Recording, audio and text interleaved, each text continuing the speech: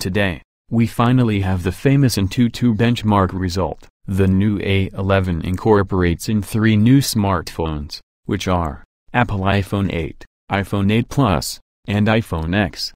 Like Geekbench, Apple A11 AnTuTu benchmark outcome is again surprising. Let's talk about the Apple A11 Bionic configuration. First, first of all, speaking about the configuration of the processor, A11 is a processor based on a 64-bit hexacore design with a maximum frequency of 2.45 GHz. It consists of two high-performance cores and four low-power cores. In comparison with the previous A10 Fusion, the high-performance cores are 25% faster. Meanwhile, the four low-power cores are 70% faster than those of A10 Fusion processor. When working together at the same time, all the six cores generate up to 70% greater performance for multi-threaded workloads. AnTuTu official announced the benchmark result of A11 which scored an amazing 2 lakh, 26,000, and 58 points. Once again Apple defeats all the Android smartphones which are a shame for ARM CPUs.